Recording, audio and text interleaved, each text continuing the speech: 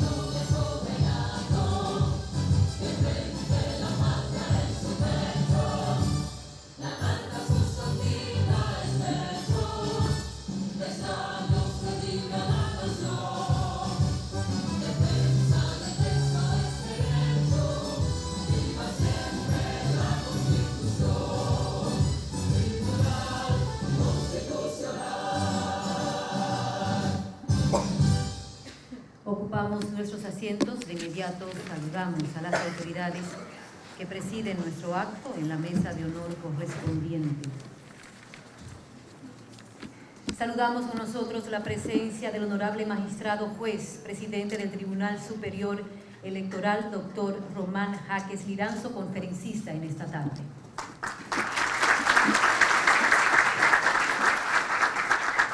Honorable magistrada coordinadora de la Comisión de Igualdad de Género del Tribunal Constitucional, Alba Luisa Bert Marcos. Señor decano de la Facultad de Ciencias Jurídicas y Políticas de esta Universidad Autónoma de Santo Domingo, licenciado Radamés Bautista López García. Honorable magistrada y miembro de la Comisión de Igualdad de Género del Tribunal Constitucional, Katia Miguelina Jiménez Martínez. Honorable magistrada del Tribunal Constitucional, periodo 2011-2017 y coordinadora de esta Comisión de Igualdad de Género del Tribunal Constitucional, Leida Margarita Piña Medrano. Señora vicedecana de la Facultad de Ciencias Jurídicas y Políticas de esta Universidad Autónoma de Santo Domingo y moderadora de este conversatorio, doctora Rosalía Sosa. Politóloga y docente en esta Universidad Autónoma de Santo Domingo, también conferencista en esta tarde, doctora Olaya Dotel. Saludamos de manera especial la presencia también con nosotros, miembros de la Comisión de Igualdad de Género del Tribunal Constitucional, honorable magistrada del Pleno, Ana Isabel Bonilla Hernández. Saludamos también con nosotros la presencia de los honorables magistrados que también nos acompañan en el Tribunal Superior Electoral. Son ellos, honorable magistrada Rafaelina Peralta, gracias por acompañarnos y por su presencia así como al honorable magistrado Santiago Sosa, también juez del Tribunal Superior Electoral. Distinguidos invitados, invitadas especiales, autoridades académicas, profesores, estudiantes, servidores constitucionales que nos están acompañando, comunidad jurídica, representantes de comisiones de género de distintas instituciones que nos honran con su presencia y también apoyan esta iniciativa que realizamos desde el Tribunal Constitucional de la República Dominicana, por supuesto, con el apoyo de esta Universidad Autónoma de Santo Domingo, miembros de la prensa, señoras y señores. Como destacamos al iniciar nuestro acto, estamos conmemorando el 77 aniversario del sufragio femenino en la República Dominicana, fecha en que por primera vez la mujer ejerció el derecho al voto en la República Dominicana. Y es en ese sentido que en el marco de tan significativa conmemoración y ocasión, el Tribunal Constitucional de la República Dominicana, a través de su Comisión de Igualdad de Género, aquí representada, lleva a cabo esta actividad a los fines de exaltar, visibilizar tan significativa reivindicación junto a la colaboración de esta Facultad de Ciencias Jurídicas y Políticas de esta Casa de Altos Estudios, la Universidad Autónoma de Santo Domingo. De inmediato, señoras y señores, vamos a iniciar la agenda protocolar correspondiente y para ello, como es de rigor, vamos a iniciar con las palabras formales de bienvenida que en esta ocasión recaen a cargo del señor decano de esta Facultad de Ciencias Jurídicas y Políticas de la UAS, licenciado Radamés Bautista López.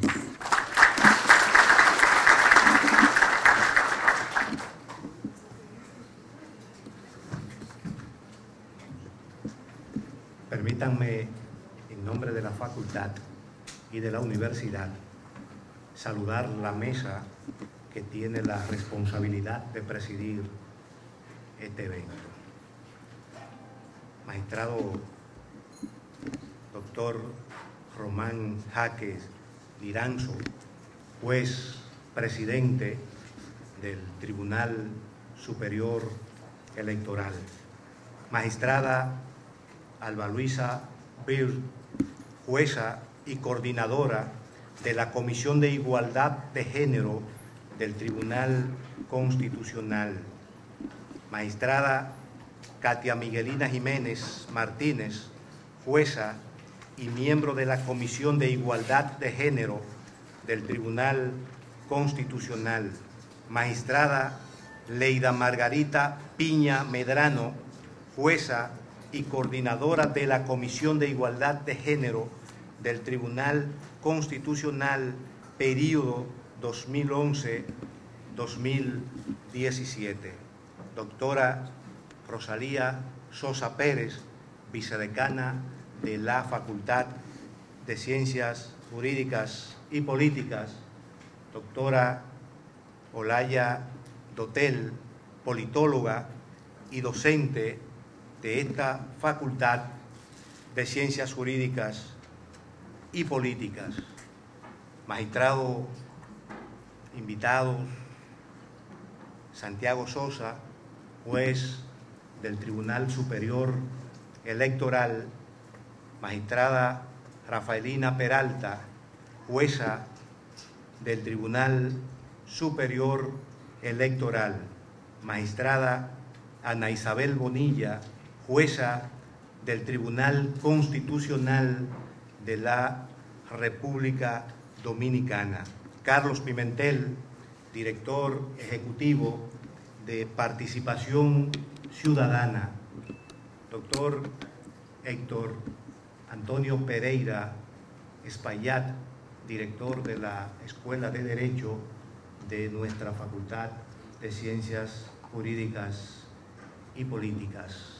Maestrantes, invitados, docentes, Vicente, para la Facultad de Ciencias Jurídicas y Políticas de esta Universidad Autónoma de Santo Domingo, es un gran honor recibir la participación de los panelistas, de los magistrados y los amigos que hoy nos acompañan eh, en esta gran actividad. 77 años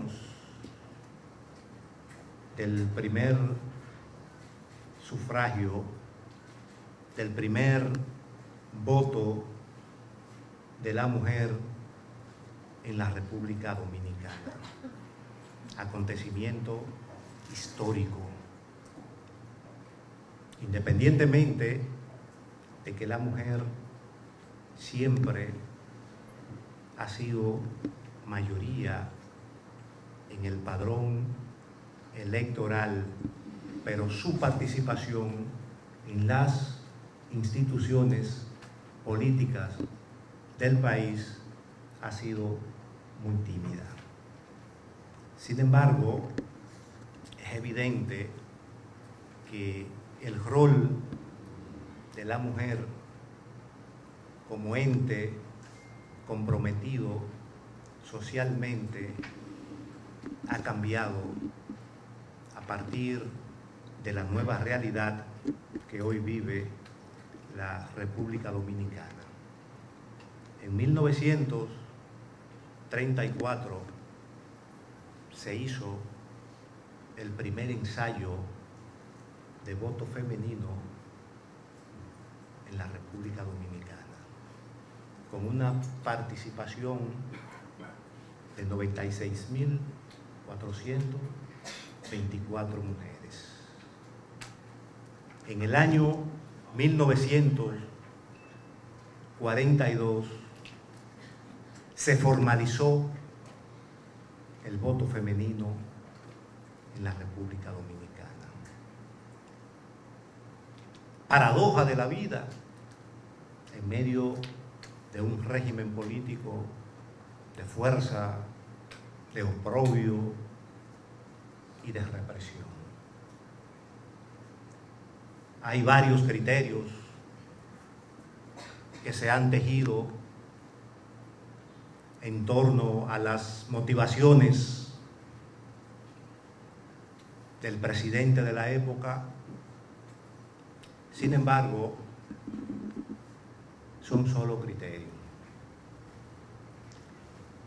Algunos importantes, el interés fundamental, fundamental de legitimar algunas concepciones represivas desarrolladas en ese momento. 77 años después, la mujer dominicana ha jugado un papel determinante en el proceso de reforma que ha vivido la República Dominicana. Y evidentemente, alguna han tenido la oportunidad en el ejercicio de la política de llegar a posiciones importantes, como el caso de la vicepresidencia de la República. En el caso particular de la Universidad Autónoma de Santo Domingo, por primera vez en 480 años tenemos una mujer rectora.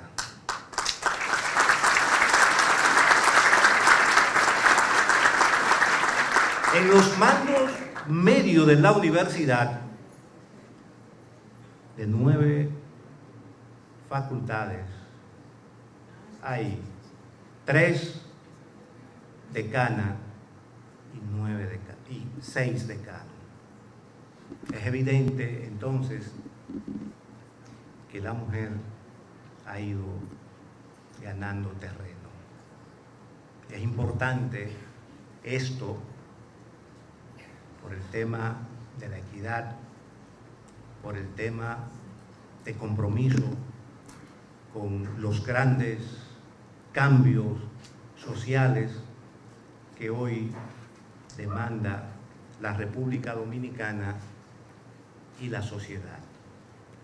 De modo que, bienvenidos y bienvenida a esta gran actividad donde se va a debatir el tema del el sufragio femenino y el compromiso de la mujer con la sociedad dominicana. Muchas gracias y pasen buenas noches. Muchas gracias, señor decano de la Facultad de Ciencias Jurídicas y Políticas de la UAS, licenciado Radamés Bautista López García. En este momento vamos a recibir las palabras formales de apertura a cargo de la honorable magistrada Katia Miguelina Jiménez Martínez, quien es parte de la Comisión de Igualdad de Género del Tribunal Constitucional.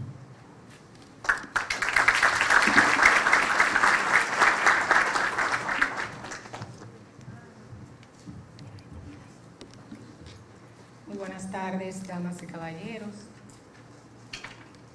En nombre del Tribunal Constitucional de la República Dominicana, su unidad de igualdad de género. Les damos la más cordial bienvenida a esta actividad.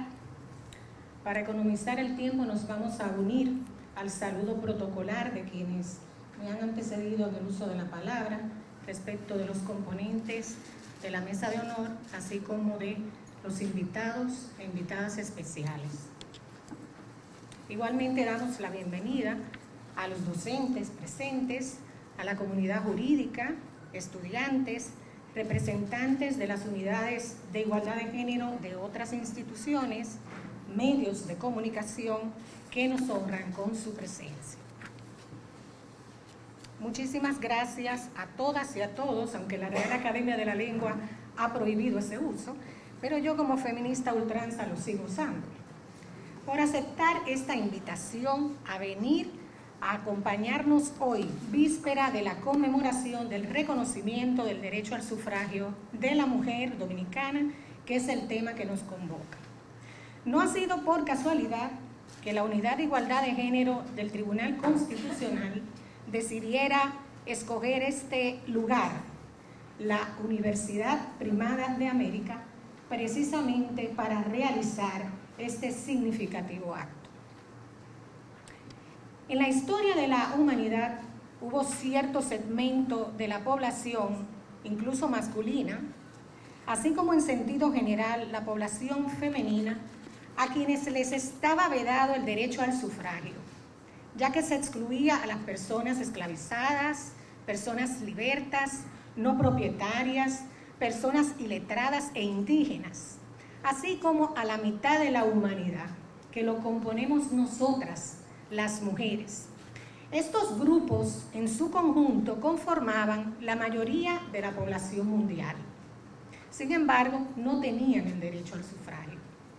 La continua democratización de las sociedades, la eliminación de la esclavitud, la lucha contra la discriminación los avances en la igualdad entre hombres y mujeres contribuirían esencialmente a la universalización del sufragio en donde todas las personas pudieran ejercer ese derecho.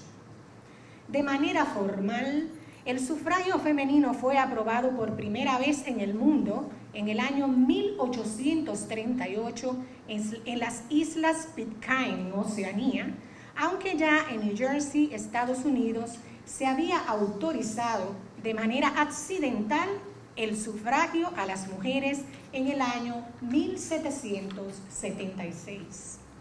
Los movimientos sufragistas de las mujeres desde finales del siglo XIX desarrollaron una intensa labor reivindicando el derecho al voto, de las féminas.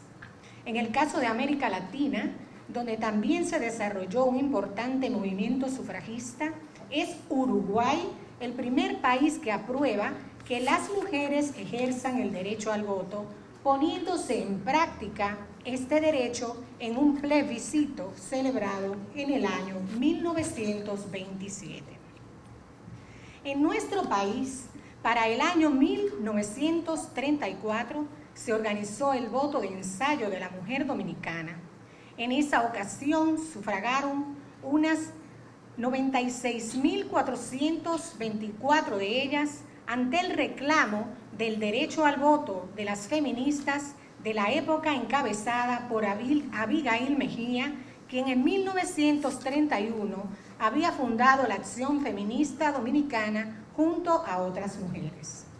Formalmente y como derecho constitucional, el derecho al voto fue introducido por Asamblea Revisora el 10 de enero del año 1942.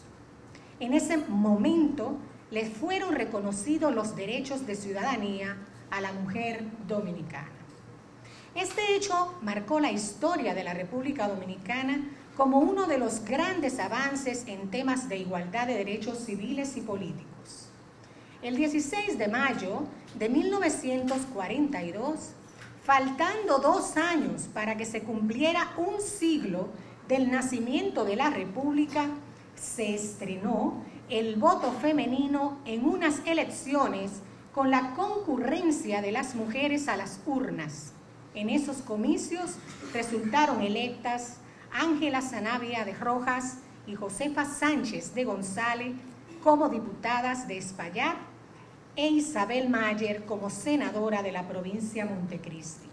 Es decir, no solamente se reconoció el derecho al voto, sino al reconocer el derecho de ciudadanía en toda su plenitud, la mujer dominicana pudo inscribir sus candidaturas para optar por un curul en el Congreso Nacional. Al conmemorarse el 77 aniversario del ejercicio al derecho al voto de la mujer dominicana, la Comisión de Igualdad de Género del Tribunal Constitucional ha considerado realizar este encuentro académico en aras de visibilizar tan significativo hecho histórico que marca la vida de las mujeres en nuestra nación, sobre todo porque resulta importante conocer los orígenes de este derecho, la importancia del sufragio femenino en un Estado social, democrático, de derecho y los retos y desafíos que nos esperan en el futuro. Bienvenidos y muchas gracias.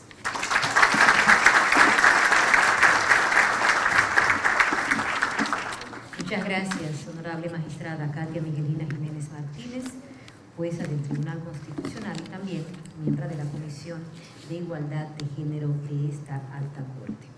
En este momento vamos a proceder a hacer las presentaciones correspondientes de nuestros conferencistas. Antes vamos a informarles que al final de este conversatorio, de las tres conferencias, vamos a tener un espacio para preguntas. Según la información que tenemos, dos preguntas por participante. Lo vamos a hacer de manera aleatoria por micrófono y, serán tres damas y tres caballeros. Vamos de inmediato a hacer la presentación de nuestra primera conferencista. Honorable magistrada Leida Margarita Piña Medrano, jueza primera sustituta del Tribunal Constitucional de la República Dominicana, periodo 2011-2017, vegana de nacimiento y origen, egresada con honores de la Escuela de Derecho de la Universidad Nacional Pedro Enríquez Ureña.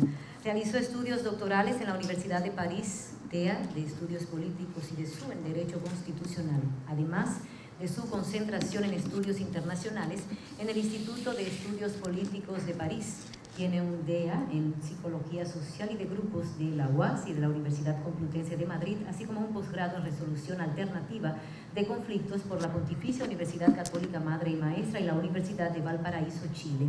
Fue miembro titular de la Junta Central Electoral en el periodo 2006-2010, coordinadora del área de reforma a la Constitución de la República en la Comisión de la Reforma y Modernización del Estado para los años 1996-2000 y miembro de la Comisión de Juristas para la Reforma de la Constitución de la República 2006-2007, así como de la Comisión Redactora del Código de Ordenamiento del Mercado y Protección al Consumidor 1998-2000. También ha ejercido como consultora del Programa de Apoyo para la Reforma y Modernización del Estado en el anteproyecto de Ley Orgánica de Administración Pública 2005-2006 y ha sido jurado en los concursos de la Suprema Corte de Justicia para aspirantes a jueces. Maestra titular de Derecho Comparado, de Historia de las Ideas Políticas y Filosofía del Derecho, profesora invitada de la Unidad para la Promoción de la Democracia, docente en el programa de formación para jóvenes líderes de los partidos políticos en la República Dominicana. También destacamos que ha fungido como coordinadora académica de la Facultad Latinoamericana de Ciencias Sociales Flaxo RD y es miembro fundador del capítulo dominicano del Instituto de Derecho de Expresión e Inspiración Francesa. Señoras y señores, con el título El sufragio femenino en un Estado social democrático y de derecho, recibamos con nosotros a la honorable magistrada Leida Margarita Piña Medrano.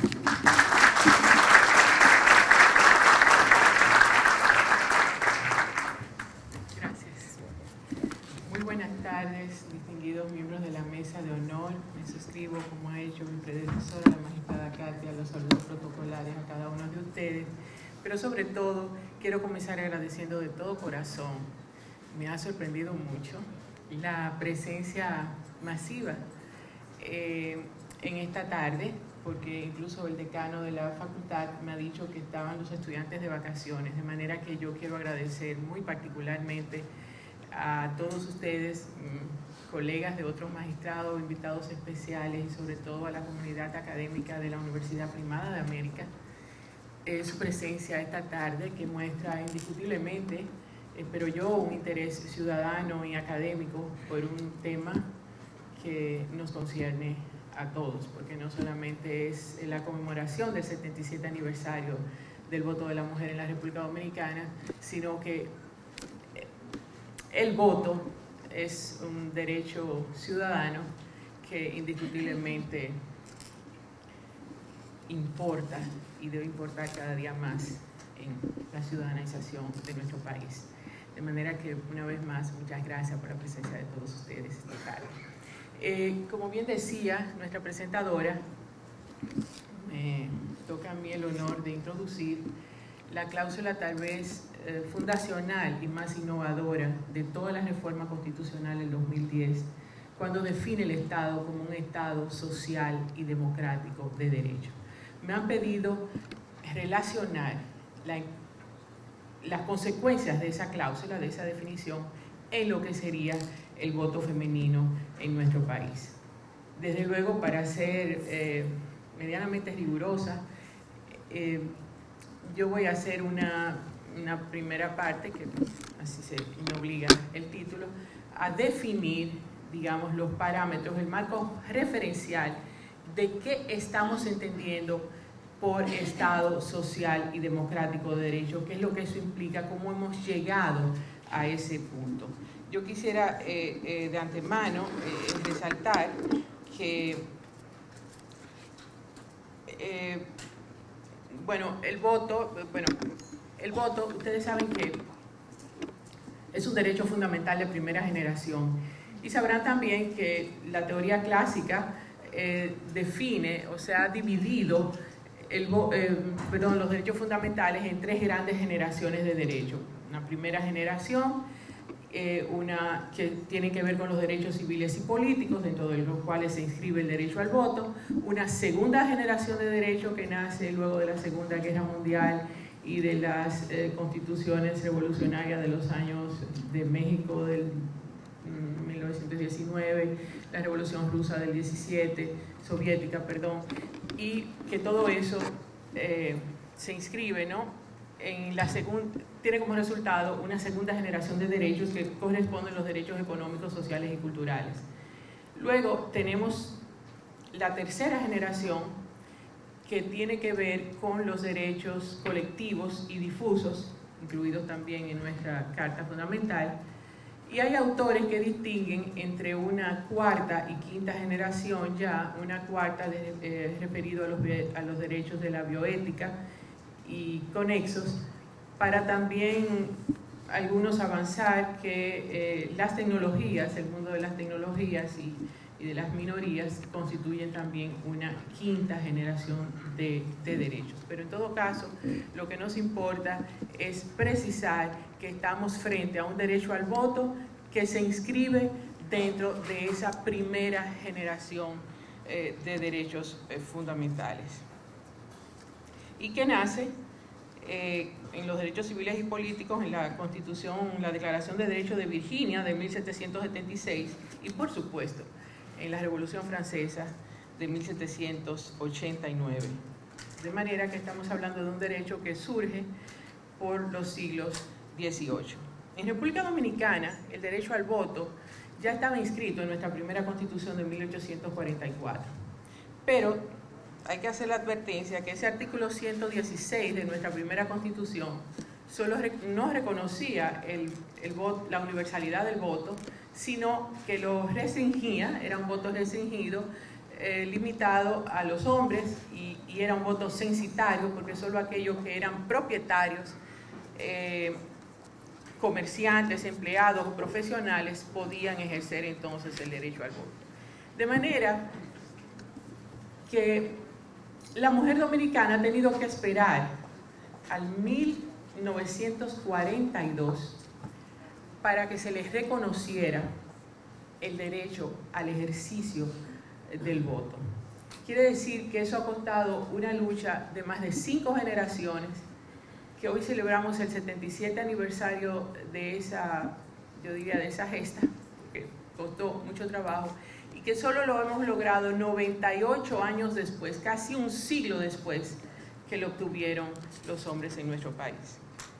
De manera que no podríamos hablar que entonces o durante todo ese tiempo que precedió, la democracia dominicana tuviera unas características realmente em, de democracia funcional, puesto que estaba eh, excluyendo a más de la mitad o a la mitad de la población mínimamente. Eh, hay que destacar, no obstante, eh, yo quiero también que nosotros tengamos de alguna manera una visión rescatable de, optimismo, que le ha costado ese, ese trabajo también a las mujeres en casi todos los continentes. Un país como Francia, que justamente está al origen del reconocimiento del voto, luego del 1789 de su revolución, apenas la mujer francesa pudo ejercerlo en el año 1945, de manera que fue reconocido tres años después que la República Dominicana. De suerte que, eh, aunque tengamos un, digamos, un desfase importante en el tiempo, países eh, emblemáticos o referenciales en materia de derechos no lo obtuvieron sino después. Tal vez esto más bien signifique el esfuerzo y la lucha que le cuesta a las mujeres el reconocimiento de sus derechos. Eh, con este preámbulo, o sea, yo, yo, quisiera también decir que, el que si bien eh, el voto es un derecho fundamental, el voto femenino es una conquista de generaciones. Pero lo que nos importa en la tarea que tengo asignada es examinar el contenido de la cláusula Estado social y democrático del derecho para luego referirme al entramado de las consecuencias jurídicos constitucionales que la definición de ese modelo de Estado impacta en el derecho fundamental al voto y sus derechos conexos. De forma que yo me voy a limitar a analizar en esa segunda parte, o a puntualizar más bien, más que analizar, a puntualizar todos aquellos derechos que de una manera u otra inciden en el fortalecimiento del ejercicio del derecho al voto en la República Dominicana en sus aspectos constitucionales, más no legales, porque entonces sería más bien interminable. Bien, eh, el Estado social y democrático de derecho es el resultado de una amplia y extensiva evolución en los tipos de estados en el curso de la historia. Haciendo abstracción de la polis griega o de la ciudad romana, los orígenes del llamado Estado moderno se sitúan a finales de la Edad Media, específicamente en el Renacimiento, esto es siglos XV y XVI, lo que luego evolucionará en los siglos XVIII y XIX al llamado Estado liberal o constitucional, agotando entre este lapso de estos dos siglos todo lo que fueron las monarquías absolutistas en Europa.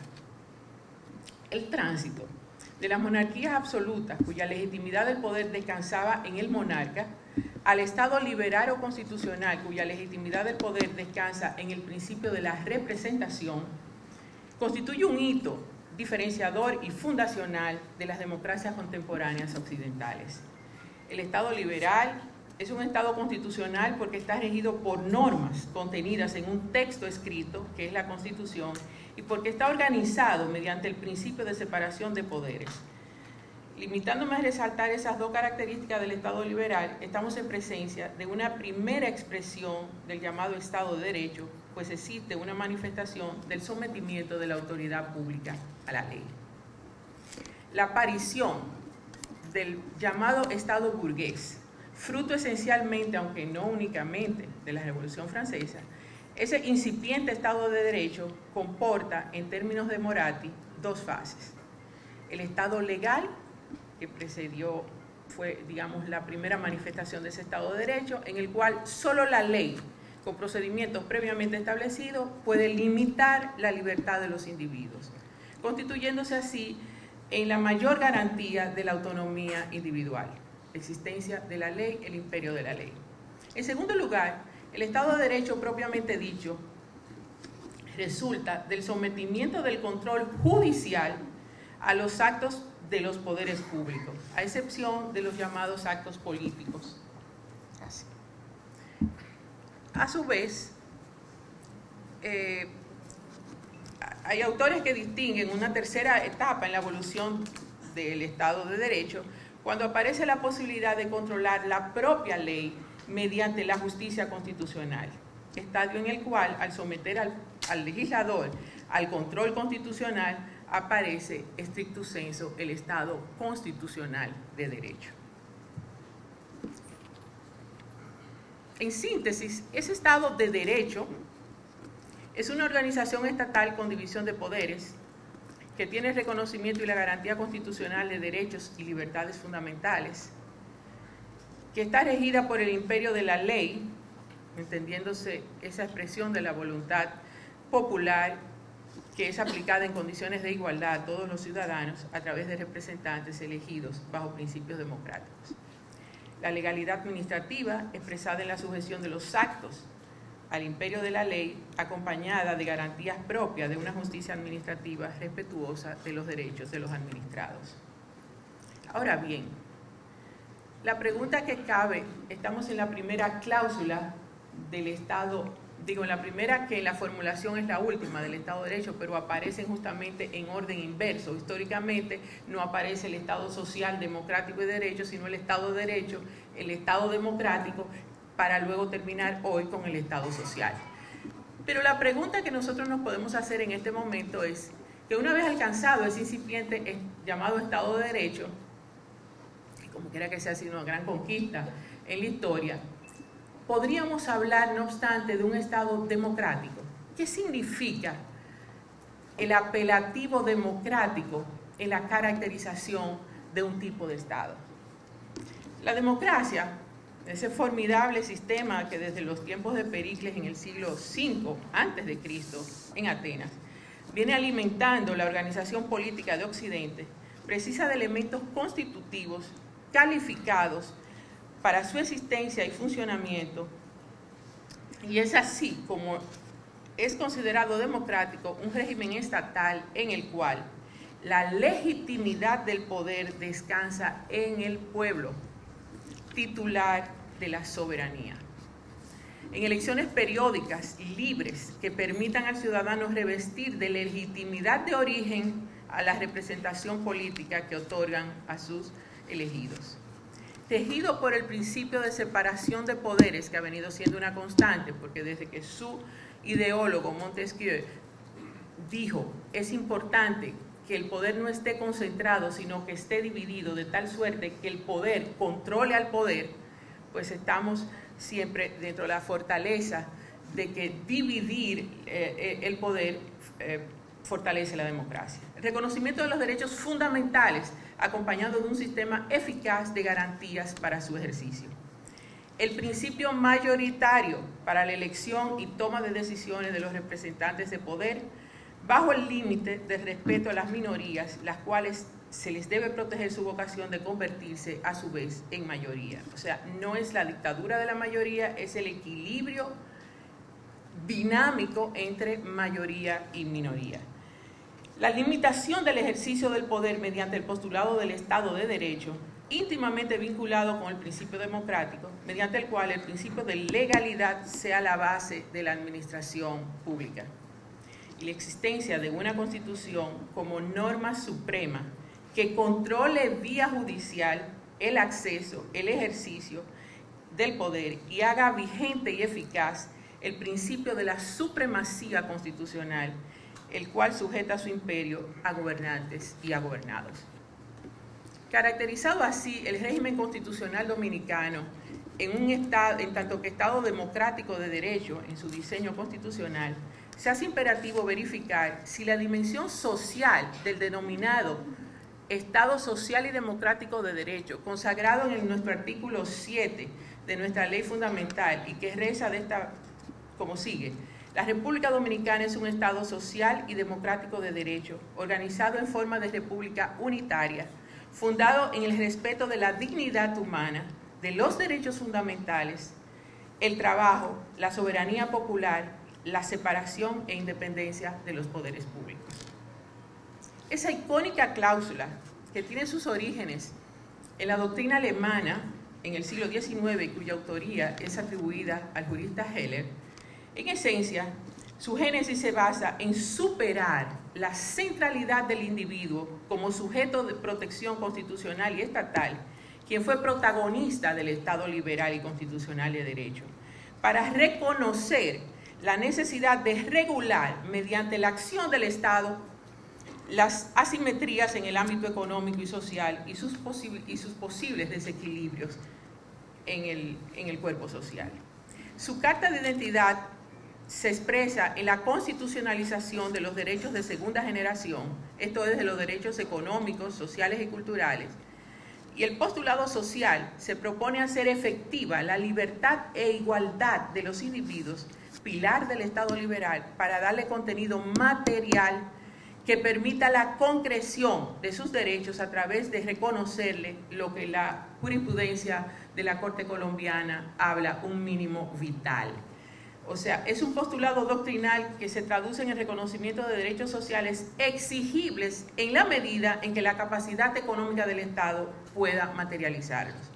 En síntesis, el Estado social y democrático de derecho constituye una sustancial evolución ideológica del Estado liberal constitucional de derecho, que lejos de negarlo, pretende perfeccionarlo armonizando la libertad y la igualdad individual con la dimensión social. Para la obtención de ese objetivo, propone la constitucionalización de los llamados derechos económicos, sociales y culturales.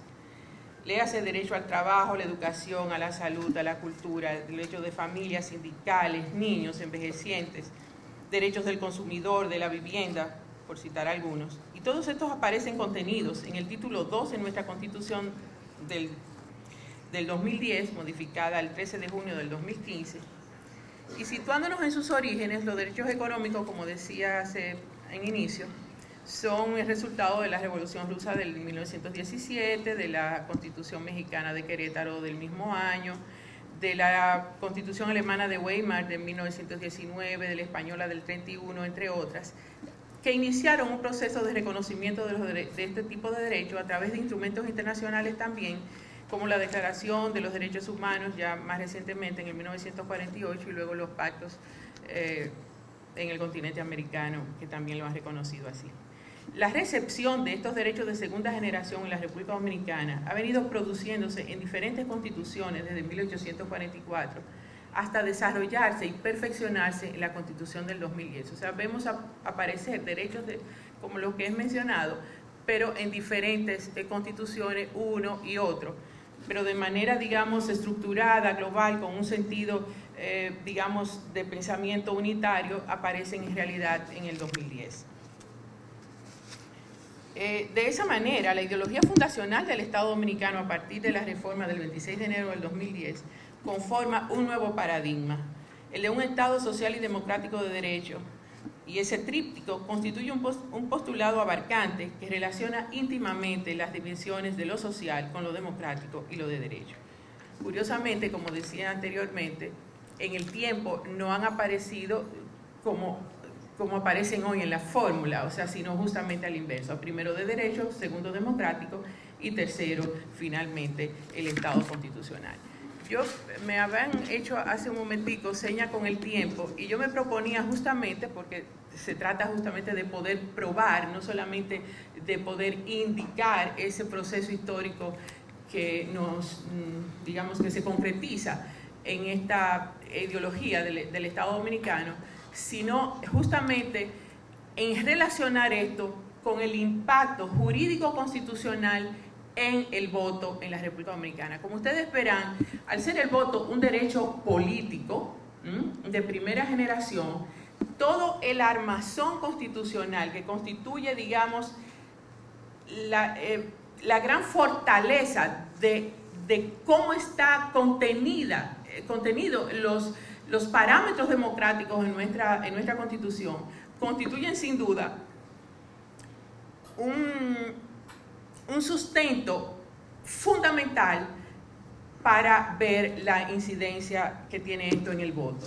Desde su preámbulo el artículo, y el artículo 5 y 38 reconocen como fundamento del Estado la dignidad humana. Eso parecería una evidencia, parecería axiomático, pero todavía la doctrina discute el contenido, que la doctrina internacional, por supuesto, que puede abarcar lo que es el concepto de la dignidad humana. En todo caso, el ser humano al centro de la finalidad del Estado está también regido en nuestra Constitución por principios jurídicos que están destinados a garantizar esa finalidad del Estado. El principio de la legitimidad democrática, la soberanía popular descansa en el pueblo en su artículo 2, la separación de poderes en su artículo 4, especializa funciones para controlar el poder, la supremacía de la Constitución, que si yo debiera resumir en un postulado, en un punto, lo que significa ese tránsito es reconocer a la Constitución Dominicana como la norma suprema con consecuencias bajo la creación del Tribunal Constitucional y antes bajo el control que detenía la, Suprema Corte de Justicia en materia de, control concentrado de constitucionalidad, pero ahí descansa la normatividad porque se hace exigible, porque cualquier ciudadano puede ir a reclamar con los recursos y con los procedimientos contemplados en nuestro régimen jurídico la garantía de la eficacia de esos derechos que no son reconocidos. El principio mayoritario es un principio democrático, como había dicho antes, y que tiene que ver en su artículo 209 de la Constitución, punto 2 y el 112, reconoce también mayorías especiales, el famoso artículo 112 con las leyes orgánicas. El principio de igualdad, el que más importaría luego de la supremacía de la Constitución para el, el impacto en el derecho del voto femenino porque lo considera la Constitución como un valor supremo, como un principio y como un derecho fundamental. Esto no solamente importa porque estemos mencionando que tiene tres categorizaciones, eh, el, principio, perdón, eh, el principio de igualdad, sino porque eso constituye la base de la interpretación y de la aplicación del derecho. De manera que eso se constituye en un principio eje del cual, en el cual se constituye en una de las garantías fundamentales para todo lo que es el funcionamiento del principio democrático, porque cualquiera puede ir precisamente a un tribunal a, bajo uno de los eh, recursos o procedimientos que reconoce la Constitución a reclamar una violación al principio de igualdad, que sería uno de los primeros recursos que tendría la mujer en caso de que se le disminuya, se le discrimine, se le eh, no se les reconozca eh, la parte de derechos que, ha sido objeto. Ese principio de igualdad tiene además del, artículo 39, como principio tiene además una condena expresa a todo tipo de privilegio en el punto número uno, en el punto número tres, un rol del Estado en promover la igualdad real y efectiva con una prohibición de no discriminación y a la mujer y al hombre les reconocen el 39.4, que son iguales ante la ley, prohíbe toda desigualdad y le asigna un rol al Estado que es también donde se observa la importancia de la cláusula social. ¿Por qué? Porque la cláusula de Estado social le da al Estado un rol mucho más activo, mucho más, eh, o sea, antes en el postulado liberal era el dejar hacer, dejar pasar, la famosa eh, frase laissez faire, laissez passer. Pero ahora en el Estado social, el Estado interviene como un regulador del equilibrio de lo social y de lo individual y con eso es justamente eh, puede, eh, puedo probar. Otra, otra, otro principio fundamental en nuestra, en nuestra Carta Fundamental es la reserva de ley. Tiene más de ciento y pico de reserva de ley eh, la Constitución Dominicana. Pero al legislador decir que solo el legislador, perdón, al constituyente decir que solo el legislador puede modificar un régimen de, de derechos fundamentales, se constituye de esa manera en una garantía primordial, porque está sustrayendo de la arbitrariedad, eh, digamos, eh, o, mejor dicho, para hablarlo en términos positivos, le está dando una dimensión de pluralidad política, porque es el Congreso donde se supone que estén representantes de todas las corrientes eh, políticas, en las cuales el pueblo ha tenido la confianza de delegar su representación, para que sea el legislador el que pueda, solo el legislador, modificar cualquier régimen. Eso se constituye en una garantía, porque así sabemos que la autoridad administrativa no podría hacerlo y eso, y eso a su vez se traduce en una estabilidad del sistema de derechos fundamentales. Eh, la autonomía del derecho a la la voluntad popular, caracterizada por, el, por las características del voto, y luego nosotros tenemos un arsenal de derechos eh, políticos, eh, de ciudadanía, de elegir y ser elegido, de decidir mediante referéndum, mediante iniciativa popular, de elección popular, de manera que todo reconocimiento, o sea, esa nueva dimensión que tiene la ciudad, el ciudadano y la ciudadana en la constitución del 2010, obviamente que impacta porque le está dando más capacidad de decidir en un proceso participativo de la democracia, no, ya solamente electoral para fines de elección de representantes y además de ese, de ese conjunto de, figuras importantísimas en la democracia directa, como ese referéndum, la iniciativa popular con el 2% del padrón electoral, según el artículo 97, eh, más posibilidad de elegir representantes, puesto que ahora tenemos elección popular de parlamentos internacionales y también tenemos los directores de distrito como nueva figura para ser electos. Esa es más posibilidad también para mujeres y hombres poder acceder a la posición de, candidaturas y de ser eventualmente elegidos. Eh, un punto que pareciera también, no sé, a lo mejor no llama tanto la atención.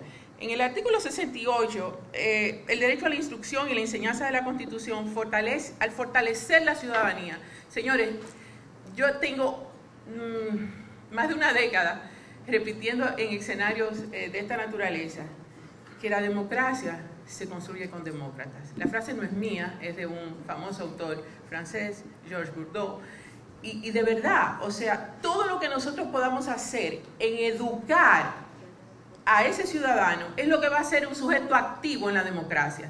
No depende de una declaración, o sea, igual que no se organiza el tránsito con una buena ley de tránsito, sino con gente que lo respete, pues igual la democracia necesita de demócratas, ese es su único, eh, digamos, eh, su, mejor materia prima, porque es ese ciudadano y esa ciudadana la que va a interactuar con, el, con, el, con, los, con los gobernantes y eso es lo que va a generar un equilibrio. Eh, en la toma de decisiones y en el ejercicio eh, de la democracia. Eh, bueno, por supuesto, el, derecho a sufragio, naturalmente. Igual, nosotros tenemos en nuestra Constitución un conjunto de garantías, o sea, de figuras que hacen efectivo el impacto en ese derecho al voto. Esas garantías pueden ser garantías de carácter institucional, precisamente como es la creación del Tribunal Constitucional, que garantiza no solamente la supremacía de la Constitución, defiende el orden constitucional, sino que protege los derechos fundamentales, el fortalecimiento de la Junta Central Electoral con su capacidad de poder reglamentario, por primera vez reconocido de esa manera en una Constitución, eh, y la creación del Tribunal Superior Electoral, un tribunal especializado en lo contencioso electoral, que es lo que finalmente va a coronar la última palabra eh, judicial, siempre que no haya una violación de derechos fundamentales, en ese ejercicio del derecho, del derecho al voto. Igual tenemos un conjunto de garantías procedimentales, como es el carácter vinculante de los derechos fundamentales a todos los poderes públicos, el principio de legalidad en el juicio, el derecho al recurso, ¿ah?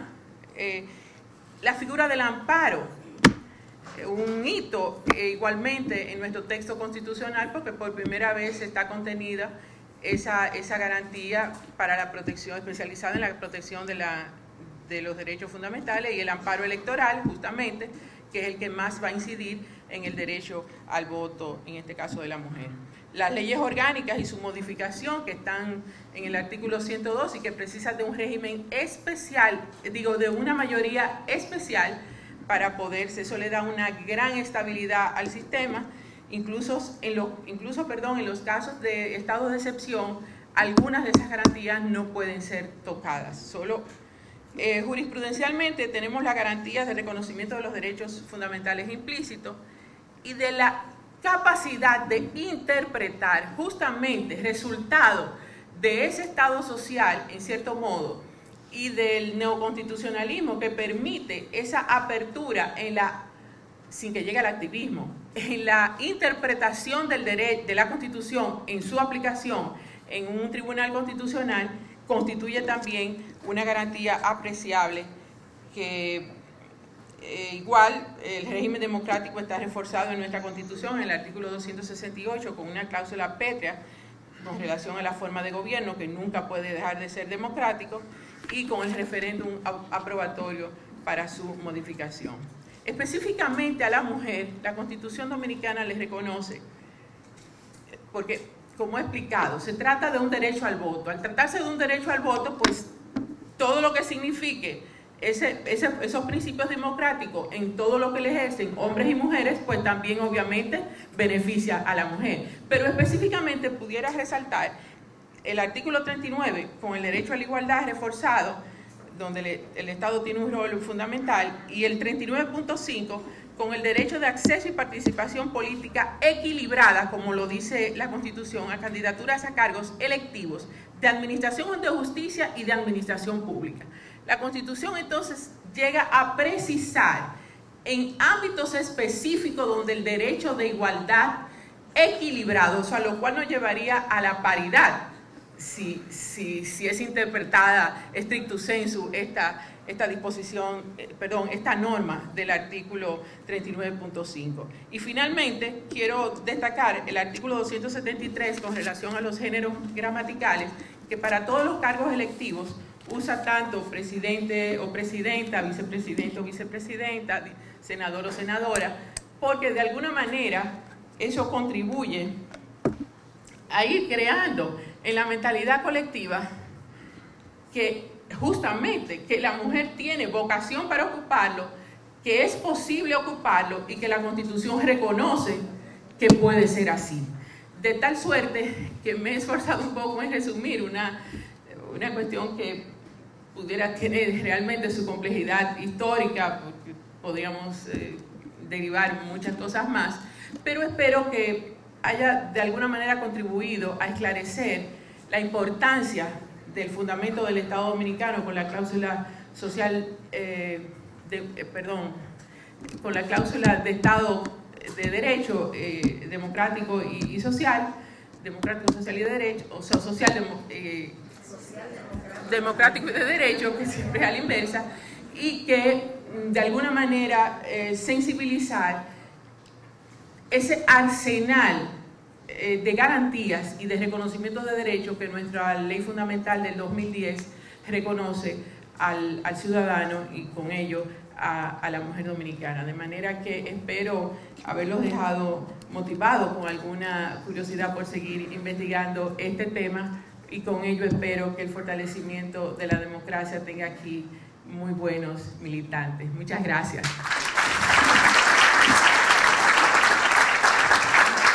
Muchas gracias, señora magistrada Margarita Piña Medrano. En este momento, posteriormente de esta primera conferencia, vamos a agradecer la presencia de la honorable magistrada Katia Miguelina Jiménez Martínez, también jueza del Tribunal Constitucional de la República Dominicana y como ya destacamos, parte de la Comisión de Igualdad de Género del Tribunal Constitucional.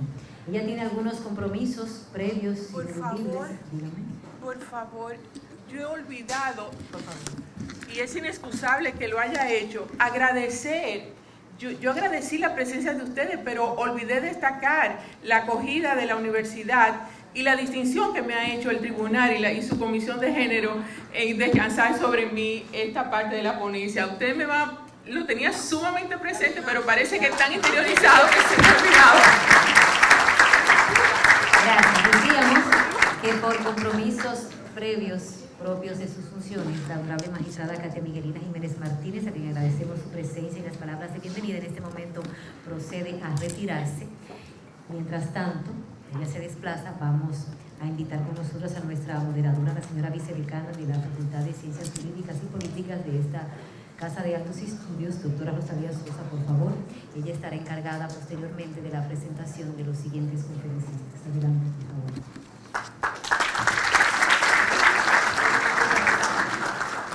Muy buenas noches, la honorable mesa que nos acompaña y que nos distingue.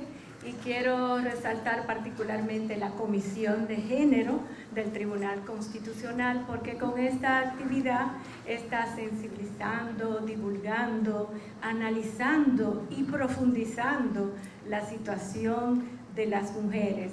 En el tema no solamente del derecho al sufragio, sino lo más importante en estos momentos, el acceso a la participación política de las mujeres, porque no basta solamente el reconocimiento del derecho al voto, sino qué abre después de eso y cuáles son sus consecuencias. Agradecemos a la magistrada Leida, porque, Leida Margarita, porque nos da una excelente introducción de los derechos fundamentales y con eso nos lleva de camino para entender cuán importante es el derecho al sufragio. En los tres estadios que ella constantemente nos decía, el derecho, el, Estado de Derecho, el Estado democrático de Derecho, el Estado social y constitucional de Derecho, donde también hay que ver el acceso, la participación y la representación de las mujeres en estos tiempos. La magistrada también habló de la Constitución y los logros de la Constitución, pero no sin antes reconocer de que realmente necesitamos una verdadera igualdad. Porque al hablar del valor supremo, el valor supremo, principio y derechos fundamentales, de eso que se llama el derecho a igualdad, ¿cómo se refleja en estos momentos y durante estos 77 años en lo que se llama el derecho al voto. Pero es oportuna la participación de nuestro querido amigo guasdiano, profesor y en estos momentos presidente del Tribunal Superior Electoral, Román Andrés Jaques Liriano, que he descubierto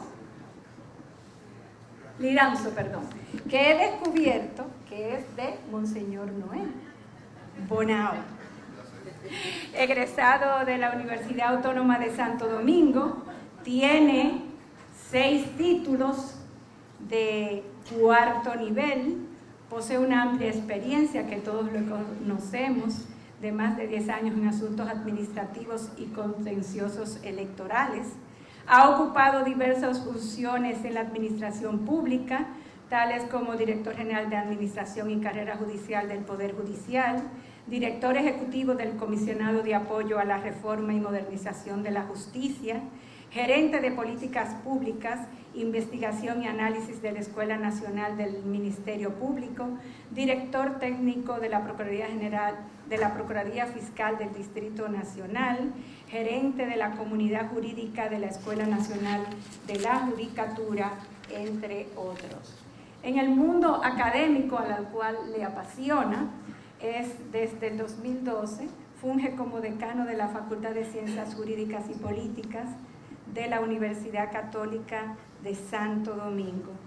Y en la actualidad es el magistrado presidente del Tribunal Superior Electoral de la República Dominicana. Con ustedes, nuestro querido maestro, abogado y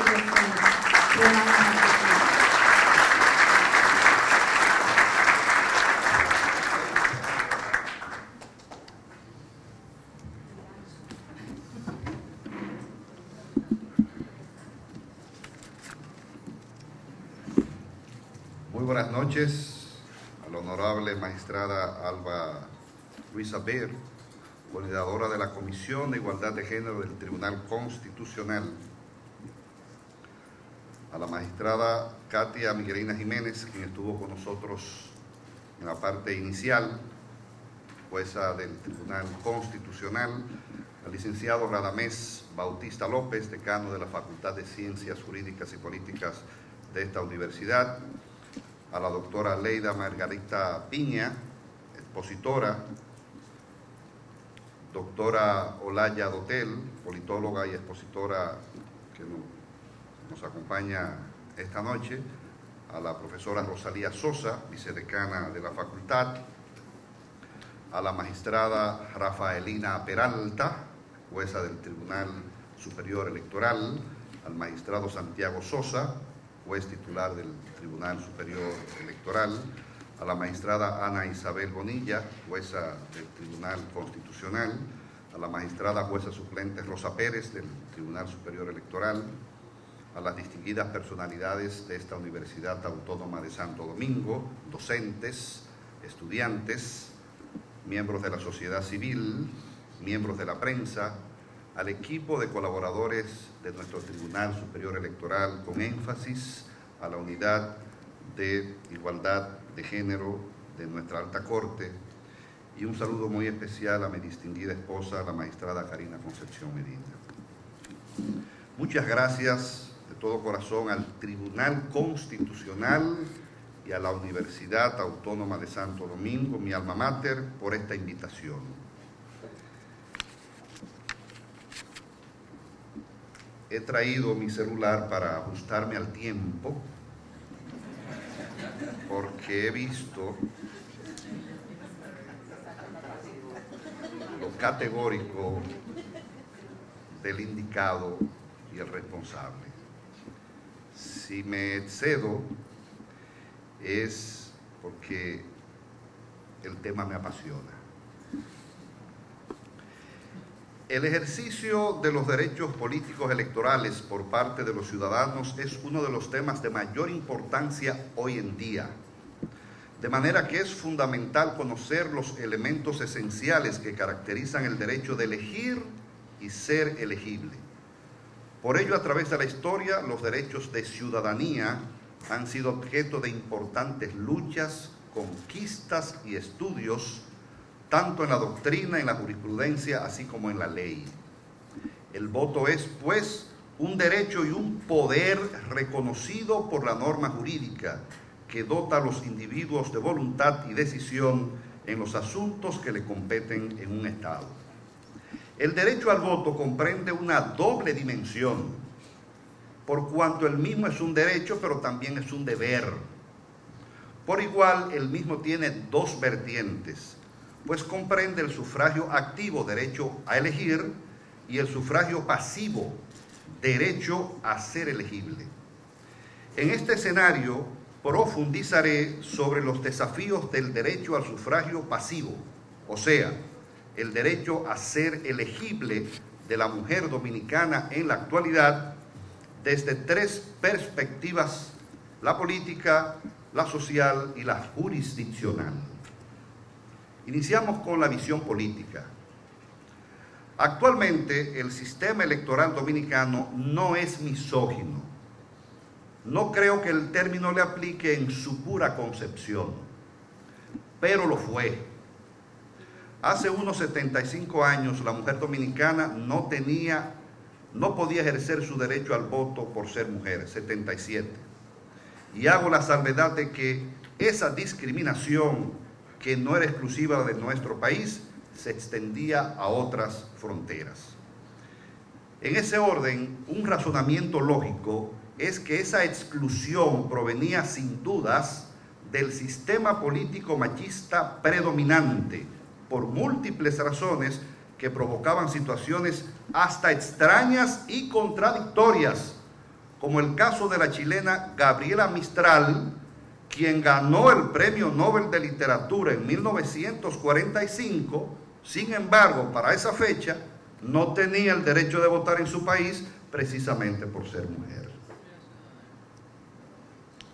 La crítica inmediata que a veces escucho de algunos y algunas es que hoy en día las habilidades y competencias humanas deben ser lo determinante para designar las personas responsables de las actividades de la vida social y política es innegable.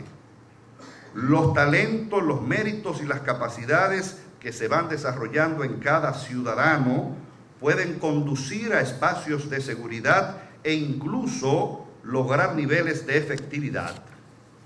No obstante, no nos engañemos.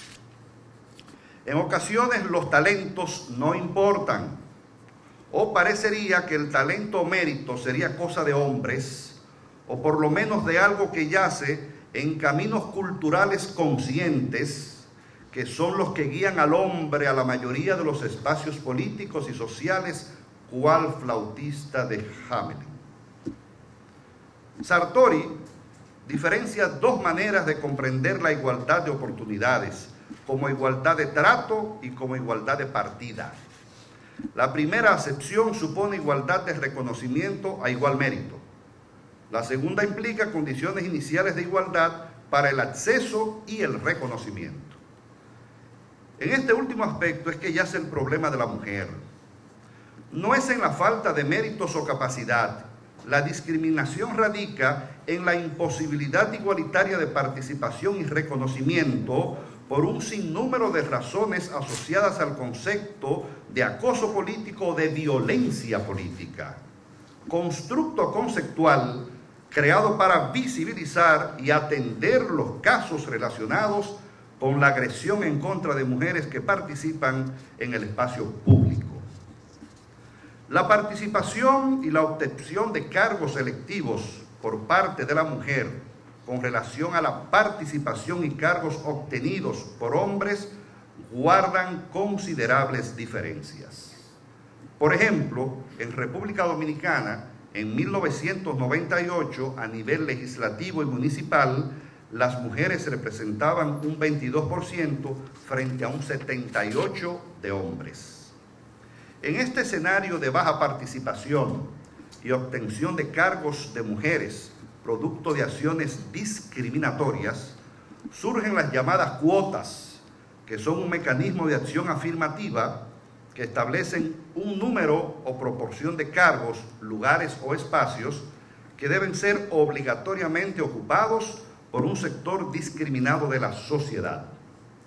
Las cuotas de género en la participación política se refieren a medidas para la inclusión de un sexo subrepresentado en el sistema político.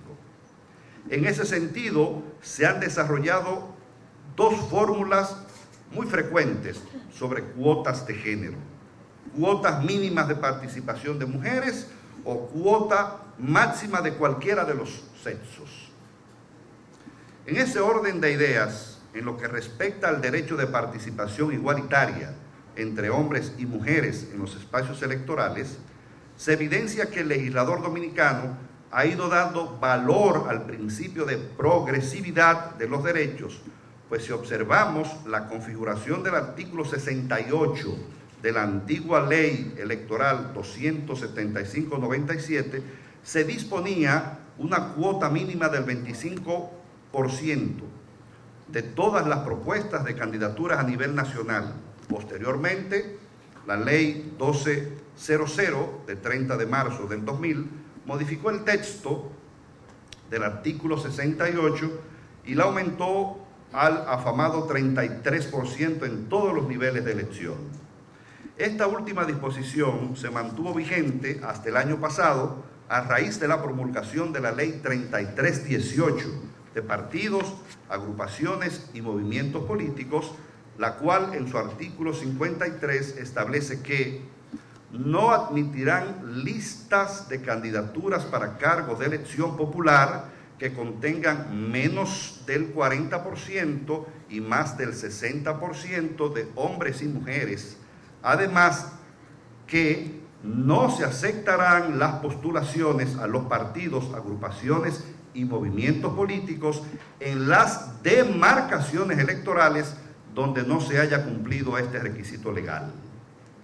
Posteriormente, es promulgada en fecha 20 de enero de 2019 la ley 1519, orgánica del régimen electoral, la cual en su artículo 136 evidencia una clara contradicción con la disposición legal antes indicada, al señalar que las propuestas de candidaturas deberán estar integradas por no menos del 40% ni más del 60%, pero agrega de la propuesta nacional. Es decir, que tenemos una primera disposición que exige el cumplimiento de la cuota en cada demarcación y posterior otra que indica que es a nivel nacional. De ahí que ante estas dos disposiciones normativas parcialmente antagónicas, es dable enfatizar que someter a los partidos a cumplir con la cuota mínima en cada demarcación electoral, como indica la ley 3318, podría suponer un mayor nivel de representación efectiva de las mujeres en el escenario político. Por el contrario, si la exigencia se limita a la propuesta nacional, como indica la 1519, se produciría una reducción significativa en la representación femenina en los puestos de elección. Planteado lo anterior, nos gustaría dejar a la reflexión del auditorio estas interrogantes prevalecería la disposición de la ley 3318 de partidos, agrupaciones y movimientos políticos por ser una ley especial, o por el contrario, la ley 1519, orgánica de régimen electoral, derogaría la ley 3318 de partidos, tomando en cuenta que esa misma ley, la 1519, de manera expresa dice que quedan derogadas todas las disposiciones que le sean contrarias estaríamos ante una confrontación entre una ley especial y una ley general, o entre dos leyes especiales. Aplicaría el principio de favorabilidad para resolver la controversia, o simplemente el ejercicio de la violencia política se impuso y hemos retrocedido luego de un paso de avance. Solo algunas preguntas. Sí quiero recordarle al poder político que el concepto de cuotas está pensado como una medida temporal para acelerar la igualdad, no son eternas. Lo correcto hubiese sido respetar las normas internacionales, nuestra propia Carta Magna y establecer tajantemente la paridad como lo establece magistrada Leida Piña el artículo 39, numeral quinto de nuestra ley sustantiva, que aunque hable de equilibrio, eso es paridad. Ojalá la cultura de la violencia política hacia la mujer, ojalá no se limite a cumplir con lo mínimo del 40% de candidaturas para cargos de mujeres, convirtiendo el 40 en un techo, en cumplimiento sabio, entre comillas, de lo mínimo y en perjuicio provocado cinco millas de lo máximo. Y lo digo porque las vivencias del mundo están ahí. En este contexto, la española Carla Macías argumenta, y cito, que la experiencia enseña que no en pocas ocasiones la obligación de cumplir con la cuota de mujeres candidatas es manipulada por los dirigentes de partidos políticos como medio para reforzar su propio poder y liderazgo lo cual reproduce mecanismos discriminatorios y encubre el poder discrecional de las élites. Termina la cita.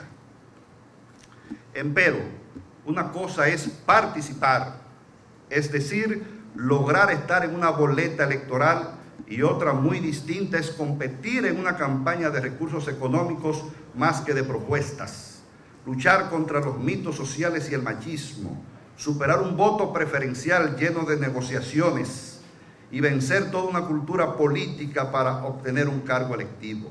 En síntesis, otra cosa es que una mujer logre ganar y ocupe real y efectivamente una posición de titularidad. Hay que destacar la segmentación que sufre la mujer en todos los escenarios, no solo en el aspecto de candidaturas. La doctrina más moderna nos habla de dos modalidades, la vertical y la horizontal. Alteger reseña que la segmentación vertical permite dar cuenta del modo en que la presencia de mujeres disminuye conforme vemos los puestos en las estructuras directivas desde una perspectiva jerárquica. El mismo autor es más categórico y poco halagüeño. Plantea que las pautas que configuran la articulación y los efectos de la segmentación vertical provocan incluso en una circunstancia en donde todos los partidos políticos cuenten en todas sus candidaturas con un 50% de mujeres, que se acabe dando como resultado que un 39% de mujeres obtengan cargos. O sea, plantea sabiamente que la participación no significa categóricamente la obtención de la posición. Por su parte, la Comisión Europea, en el informe Mujeres en Europa y Participación Política, planteó que sería preciso que el 63% de las candidaturas fuesen mujeres para conseguir una asamblea paritaria del 50%. Por su lado, la segmentación horizontal hace referencia a cómo las comisiones o las áreas de gobiernos más importantes son ostentadas y ejercidas por hombres en el marco de temas como la economía o asuntos exteriores. Pero la violencia política hacia la mujer sabe engañar con gran audacia porque a veces el sistema se lo permite. Una expresión clara es que de los más de 4.000 cargos elegidos en las pasadas elecciones del 15 de mayo de 2016, el 35.3% correspondió a mujeres y el 64% a hombres. Una mirada fría nos hace hacer avances significativos, incluso dar como superado el 33% que estaba establecido en las elecciones pasadas.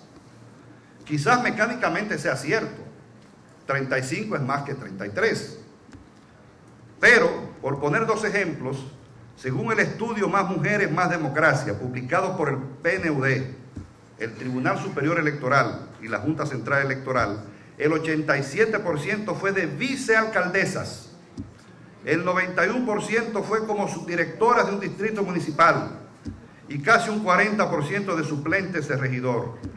Es decir, la mayoría de las posiciones obtenidas son secundarias, vices, sub o suplentes.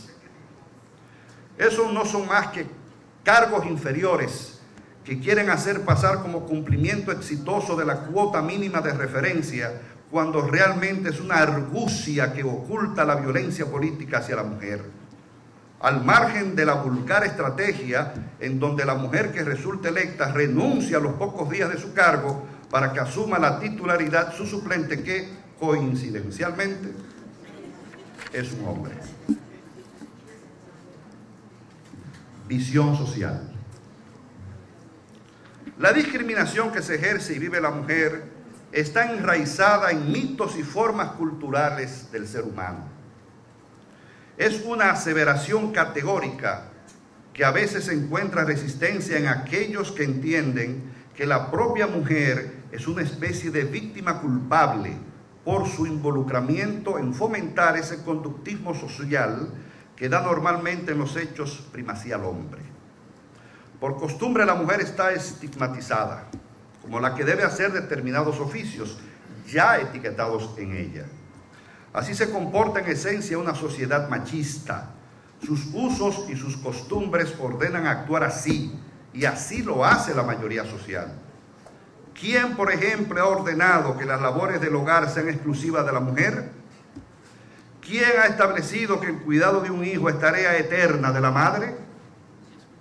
La costumbre es la práctica repetida de un precepto que ha adquirido fuerza de ley, pero hay que aclarar que el hecho de que algo sea costumbre no significa que ese accionar sea correcto.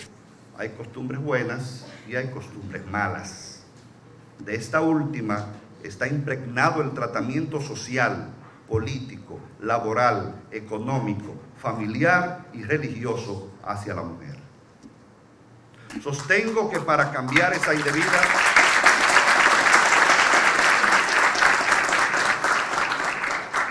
Sostengo que para cambiar esa indebida actuación integrada en la educación de cada uno de nosotros y en el currículo educativo que nos impone el sistema, hay que exigir el cumplimiento de la función esencial del Estado, como decía la magistrada Leida Piña, que es la protección efectiva de los derechos de la persona. Sin embargo, el sistema de creencias machistas y los mitos justificativos a la violencia en todas sus formas contra la mujer, porque no sirvió alguna de sus funciones hogareñas, según lo ordena la crianza dada al jefe de la casa, porque debe velar por cada detalle del hogar, deben ser desprendidos en base a políticas públicas transversales que vayan transformando esa costumbre negativa en una masculinidad responsable. Y son precisamente esas costumbres las que han frenado a muchas mujeres en su participación política. No son uno ni dos los casos de mujeres meritorias que se abstienen de participar porque la costumbre en la persona, quizás de su esposo, quizás de sus padres, quizás de sus amigas, quizás de su propia creencia, le ordenan que debe hacer determinada función y postergar o suspender por siempre esa aspiración política o de ascender a una posición pública en mérito a su preparación. Se debe entender que el uso, la costumbre no están por encima de los derechos humanos ni de los derechos fundamentales. El hecho de que nos hayan enseñado a actuar de una determinada forma no significa que sea la correcta, aún sea una costumbre ancestral y nos cueste variar ese comportamiento. La lucha no es fácil.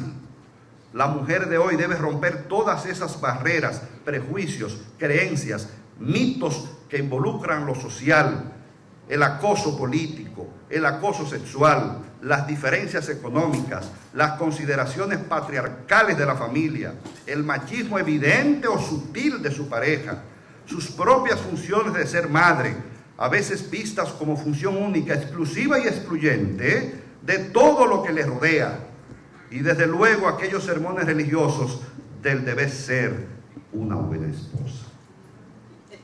En ese sentido debemos entender que la violencia contra la mujer debe ser asumida como un asunto de educación, una problemática de salud pública y una cuestión de justicia que impacta negativamente en el entorno global y que constituye una actitud primitiva que de ninguna forma se debe tolerar en el marco de una justicia civilizada. Visión jurisdiccional. En esa línea de pensamiento, el Tribunal Superior Electoral, como órgano constitucionalmente competente para juzgar y decidir con carácter definitivo sobre los asuntos contenciosos electorales y estatuir sobre los diferendos que surjan a lo interno de los partidos, agrupaciones y movimientos políticos o entre estos, está muy consciente de toda esta realidad y por ello juega un rol determinante para viabilizar el papel de los grupos vulnerables en los esquemas de dirección política. En ese orden, para las elecciones de 2016, según el citado estudio Más Mujeres, Más Democracia, Desafíos para la Igualdad de Género, se presenta que del total de 721 apoderamientos en el TSE de casos contenciosos electorales en el periodo pre y postelectoral, el 16% involucraba mujeres, el 73% a hombres y un 9% eran demandas mixtas. Lo que refleja la misma brecha de género existente en el acceso a la justicia electoral, como concluyeran las investigadoras del estudio Rosario Espinal y Sergia Galván.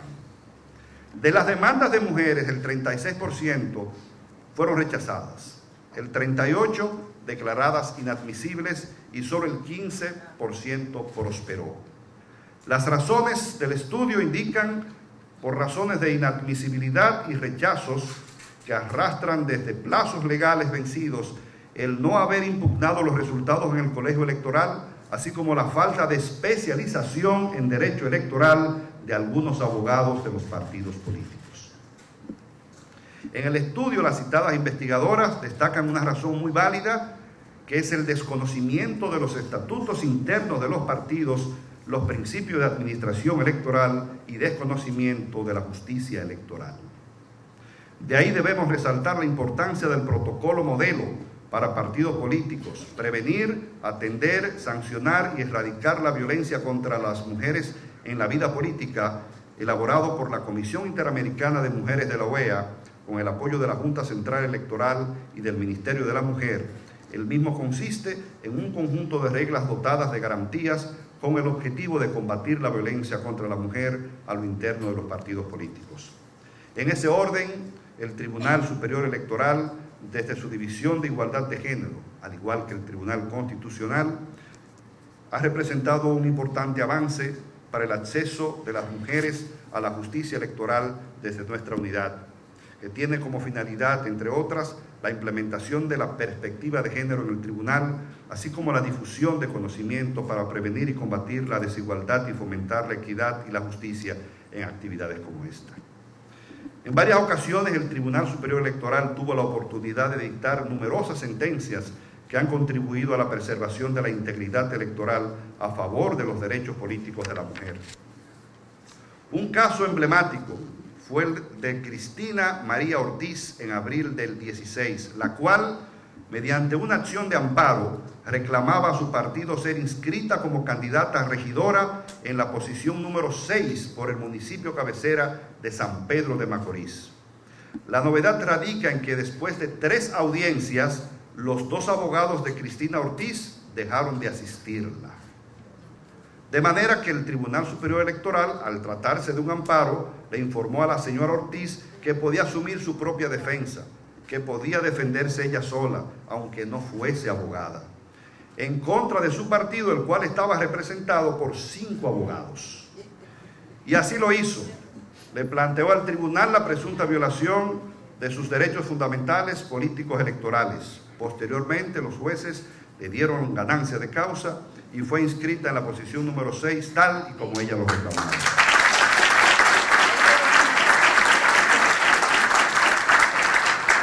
Sepa la mujer dominicana y cualquier ciudadano miembro de un partido político que en el Tribunal Superior Electoral encontrará un tribunal comprometido con los derechos fundamentales y con la democracia por ello, cualquier ciudadano podrá accionar en amparo electoral en defensa de su presunta vulneración de derechos políticos por parte de su partido, sin necesidad de formalismos.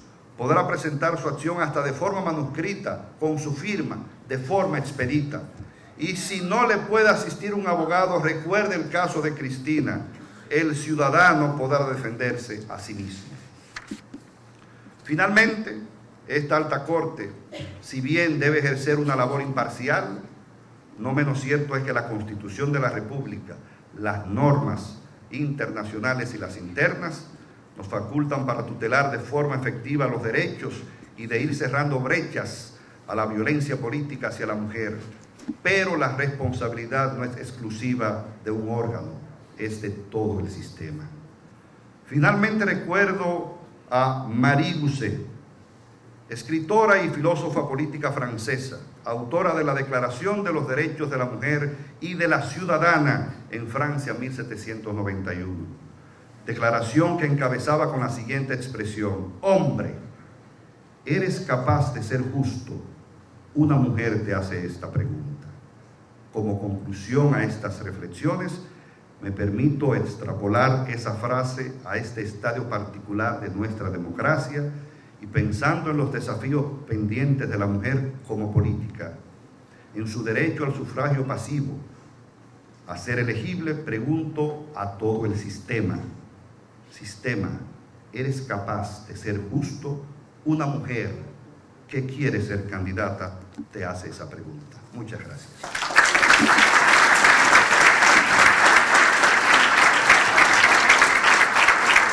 Del derecho al sufragio pasivo de la mujer dominicana en la época actual, a cargo del honorable magistrado juez, presidente del Tribunal Superior Electoral, doctor Román Jaques Llanzo. En este momento pasamos nueva vez con nuestra distinguida moderadora para dar lectura y presentar a nuestra próxima y última conferencista. Adelante, señora Rosario. Qué bueno escuchar todo lo que hemos escuchado las mujeres de viva voz de un hombre, porque realmente se merece un aplauso a él y a su esposa.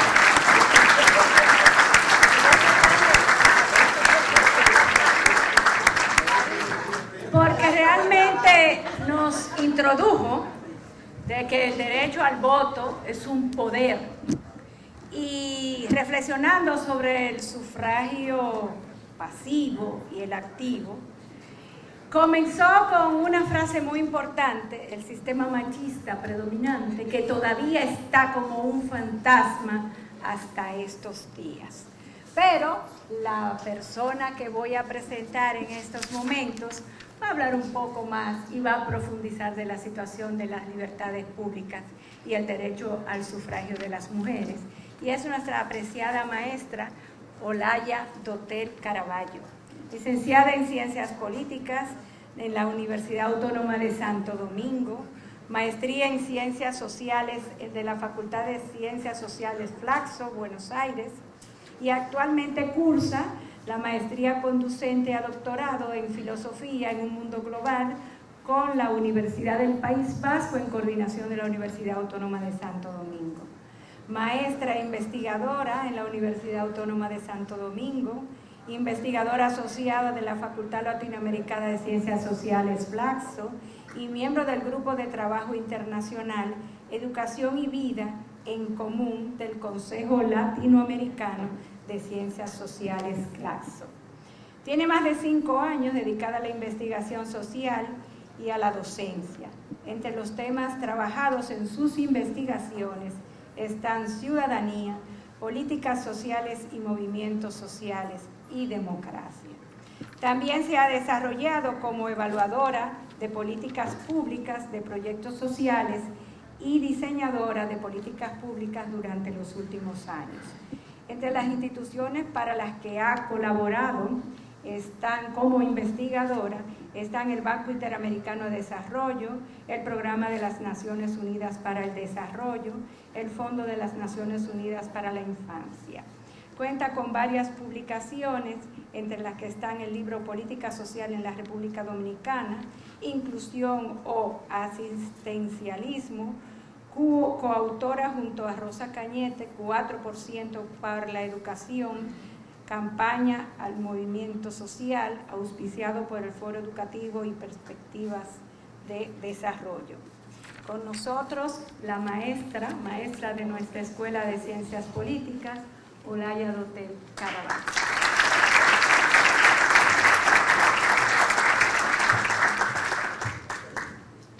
Buenas noches. Les aseguro que voy a ser bastante más breve. Eh, muy buenas noches para todos y todas. Eh, uno siempre dice muy especialmente a la mesa de honor. Eh, voy a ahorrar los nombres porque ya algunas personas se están yendo, pero a todos y todas colegas, eh, gracias por estar aquí en esta noche.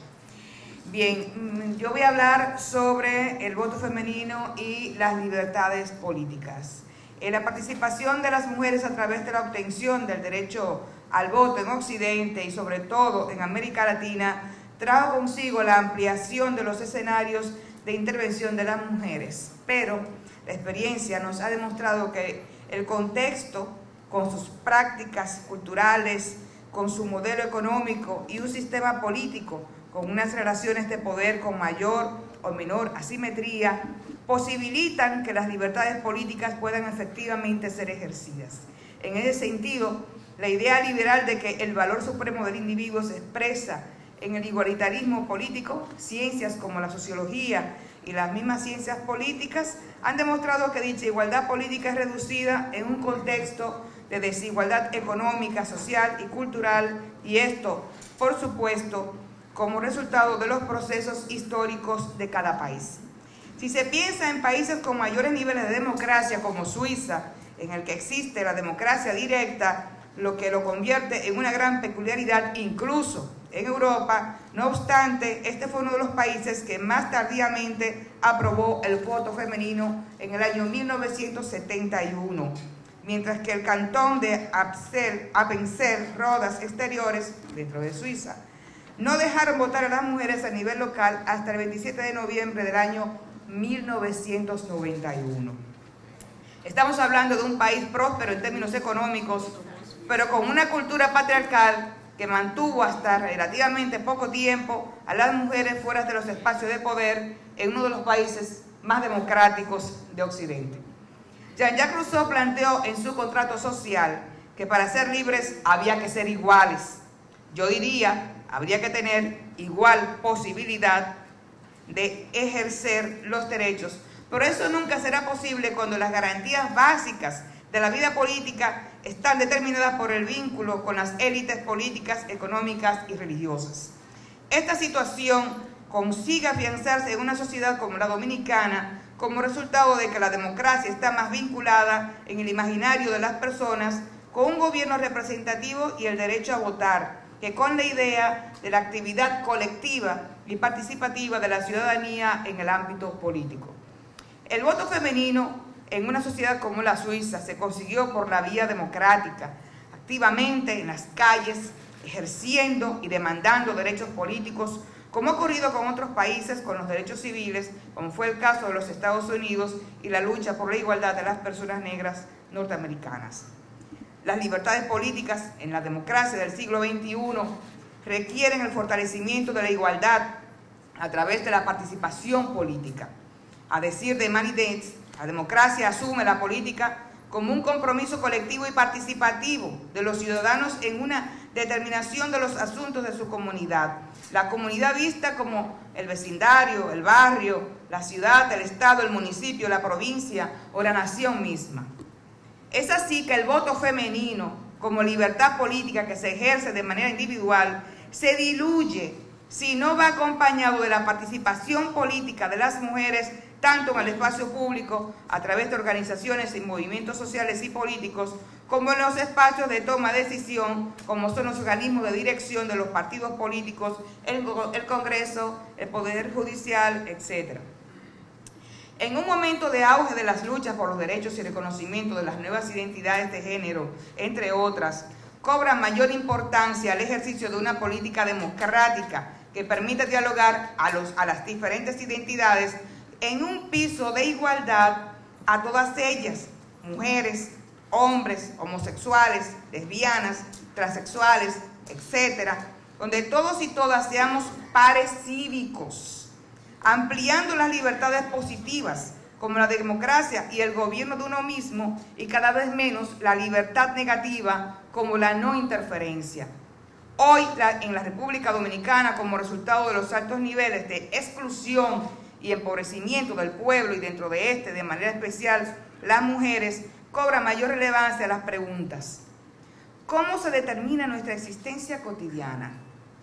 ¿Y quién o quiénes la determinan?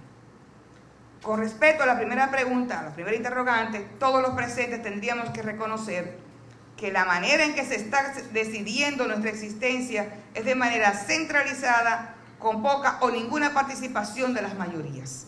De hecho, el órgano consultivo con mayor éxito en la actualidad es el Consejo Nacional de Competitividad, donde participan los miembros de la élite económica dominicana, como son los señores, digo algunos nombres, son unos cuantos, Miguel Barleta, Rafael Blanco Canto, Juan Vicini, José Clase, Samuel Conde, eh, José Luis Corripio, etcétera, etcétera, etcétera, etcétera.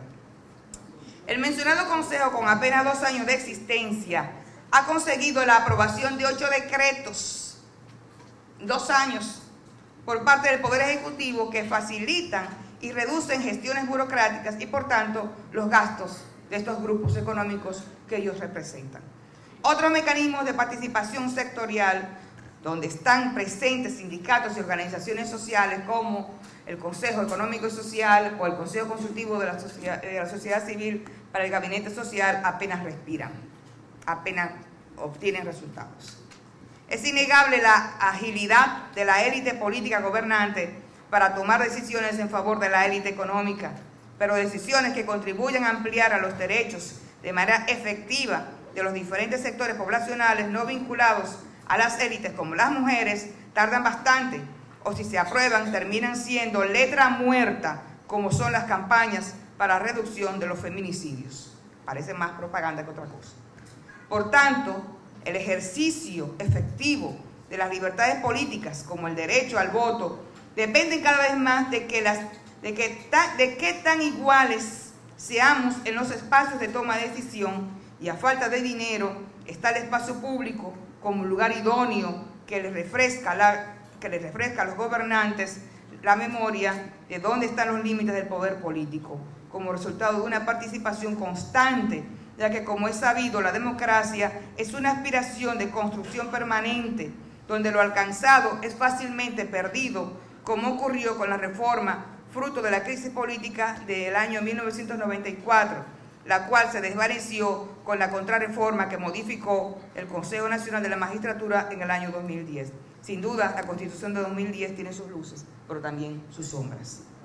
Sin duda, este es un momento retador para la ampliación de los derechos políticos de las mujeres, pero estoy convencida de que su obtención pasa indefectiblemente por una sociedad más democrática y, por tanto, participativa e inclusiva en la que las necesidades de los sectores populares así como de las mujeres, tendrán tanto peso como las necesidades y prioridades de la élite económica. Pero eso nunca pasará sin que la participación política trascienda a los procesos electorales y se convierta en parte de la existencia misma de la vida ciudadana. Muchas gracias.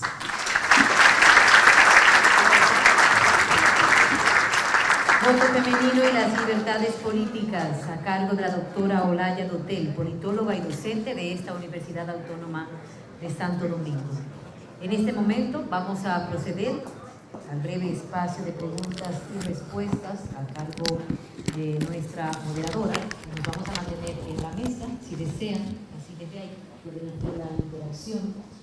Vamos eh, de inmediato a permitir a través de estos micrófonos, este es el de la mesa creo, de los micrófonos, de que el público pueda hacer las preguntas y posteriormente nuestros conferencistas eh, dar las respuestas correspondientes, recordando, nos destacamos, que nuestra moderadora, la señora vicedecana, doña Rosalía Sosa, estará a cargo de esto.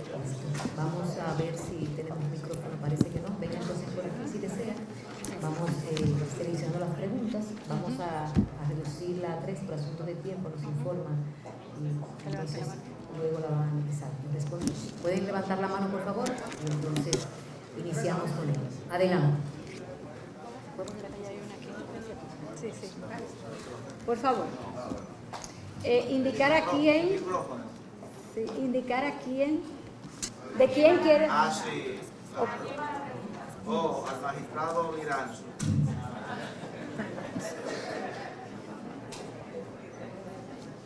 Eh, magistrado, en los términos que está planteada. Muy buenas noches. Eh, mi nombre es José Manuel Jerez. Magistrado, en los términos en que está planteada esta posible reforma electoral. Y dado que se trata de derechos de ciudadanía, eh, ¿cree usted que se hace necesario, obligatorio, el referendo aprobatorio?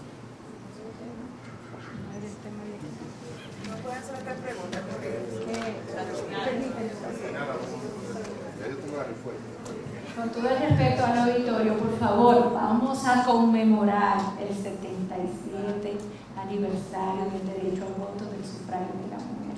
Por favor, concéntrese en ese tema. Sí, sí, sí, está bien, pero yo ¿Quién pregunta? Buenas noches, Ana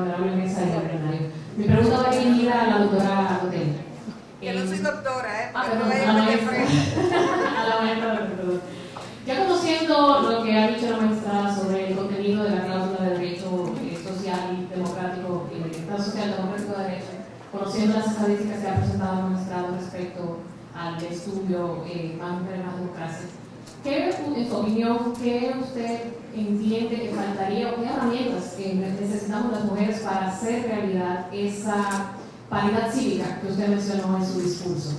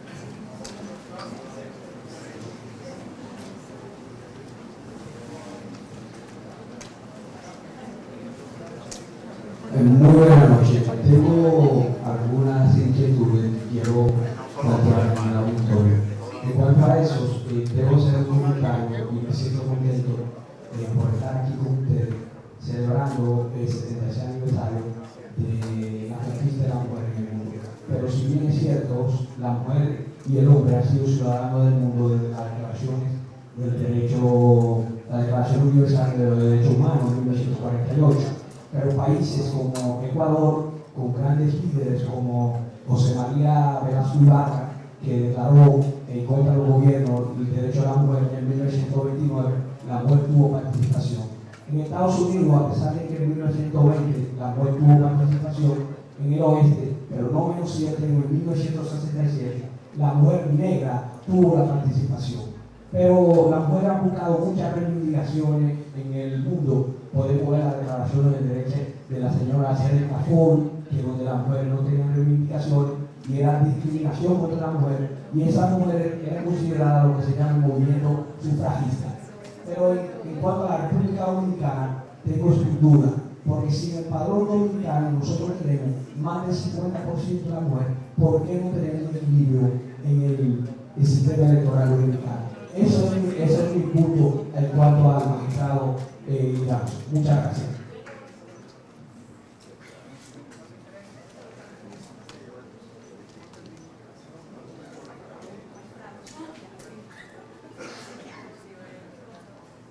muy buenas noches nuevamente. Profesor eh, Pérez, de, de, de, de revocatorio. No, aprobatorio. aprobatorio. El revocatorio no está en. Sí, sí, no está en Fíjense bien, eh, yo prefiero por el olfato político de su pregunta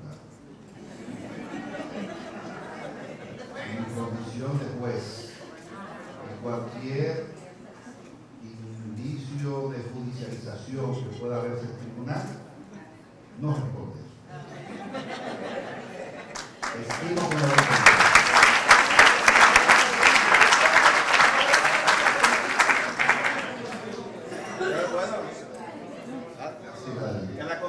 el 50, el, 50%. Creo que Bolivia Ah, no recuerdo, Costa Rica, fíjense bien, las dos expositoras en nuestra exposición han hecho un conjunto de las razones de por qué no y de los mecanismos de cómo podríamos hacer. Yo creo que es un asunto de, de voluntad de Estado, del Estado dominicano.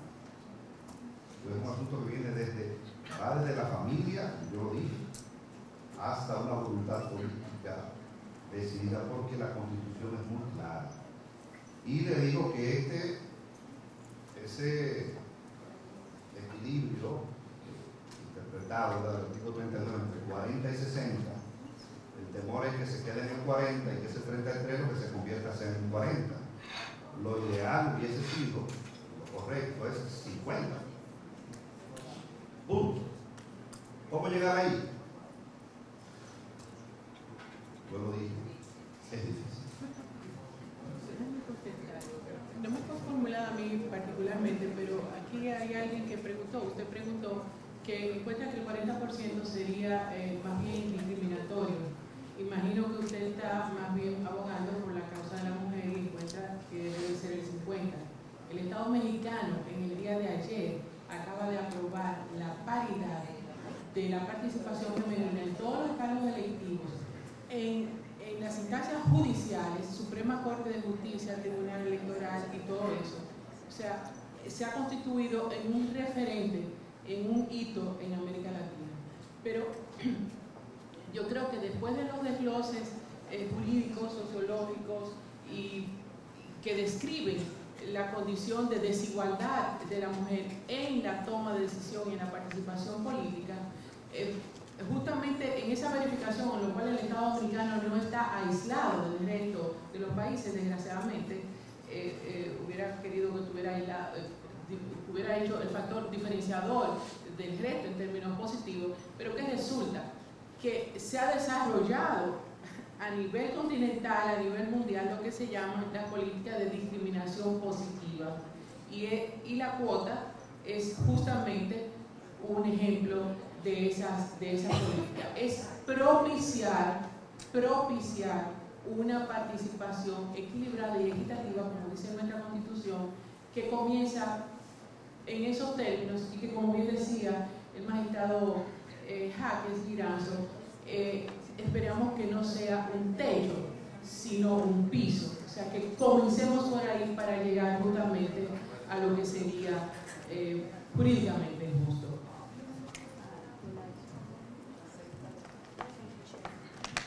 Bien, eh, las élites económicas y políticas normalmente toman decisiones a favor de las poblaciones, no porque sean sensibles, sino porque algo está en juego sentido, yo creo que sí, lo que requieren las mujeres para tener una mayor presencia en los espacios de poder es mayor participación política, más músculo político, más acción política en las calles, en los partidos políticos y en las organizaciones sociales.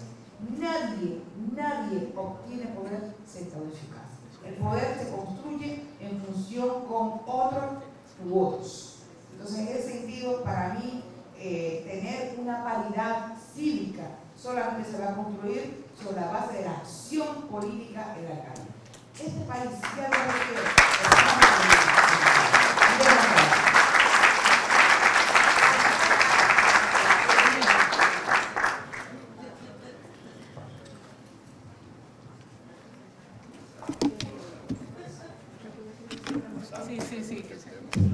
Muchas gracias. Gracias a cada uno de ustedes por su participación y por supuesto queremos vez agradecer a cada uno de nuestros expositores, distinguidos conferencistas en esta noche que han tenido a bien participar con nosotros en este conversatorio conmemorando el 77 aniversario del sufragio femenino en la República Dominicana, organizado por el Tribunal Constitucional de la República Dominicana a través de su Comisión de Igualdad de Género el acompañamiento de esta Facultad de Ciencias Jurídicas y Políticas de esta Universidad Autónoma de Santo Domingo Guas. Gracias a la magistrada Leila Margarita Piña Medrano, gracias al honorable magistrado juez presidente del Tribunal Superior Electoral, doctor Román Jaques Giranzo, y gracias también a la doctora Olaya Dotel, politóloga y docente de esta Universidad Autónoma de Santo Domingo, gracias a Rosalía Sosa, la señora vicedecana de esta facultad, gracias a las demás autoridades académicas de esta alta casa de estudios, a su decano que está con nosotros, a los miembros de la mesa de honor y a cada uno de ustedes por su presencia en esta noche. Muchas gracias y felices